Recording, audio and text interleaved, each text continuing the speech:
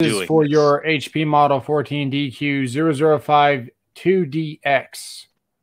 And I was under the impression this thing might have two RAM slots.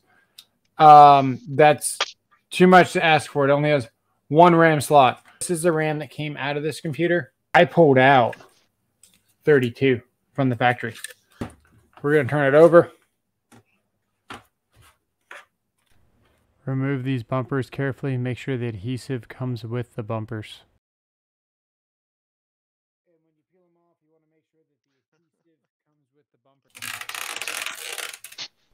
Make note of where the black and silver screws are. It's easy to mix them up. So we're going to pop these out. I like it. Yeah. So how's your day going? Um, it's been a day. It's been a It's day. been interesting. That's them right there in that pattern. We want to just kind of pry this off. I like using my hands. Um, I'm sure you could stick a pry tool in here if you want one. I'm just going to carefully kind of go around here and figure out what's loose. And we're just separating this from the. Close the laptop, face the bottom away from you, and pry with your thumbs in an outward direction, just like I showed you here at this location on the laptop. So on the internet, the factory RAM speed says 2400 megahertz.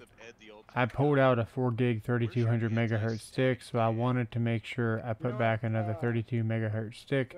It only made sense to me. Pry the computer off, switch out the RAM, and this is a fairly simple process. But yeah, you, you should use uh, you know an ESD wristband. So we've got our new crucial stick of RAM here, 16 gigabytes. My kids are loud. That's okay. This is the RAM here. Mm-hmm. You there's a little things right there. You slide that way and this way, and then that pops up. Very This was the stick that we put in last time. You'll see here that it is 2400 megahertz uh, because that's what the internet told me. But the stock stick was 32. So guess what? We're going back with a 30. And then, you know, they say you should test your RAM and do all that. Uh, that's cool if you guys want to do that. I have never tested my RAM. I've built several computers. Uh, I'm not saying that it's not necessary, but um, we're not doing it here. So this is the same style of RAM here. It is a 16 gigabyte DDR4 32. There you go there. Yeah. So uh, Juan, he's just increasing the RAM. So we're going to lightly put this back on. Gonna dry fit it. I'm going to try. It might try to snap on with just the weight. You can see their installed RAM says 16 gigs on it. Links are in the description below for the RAM.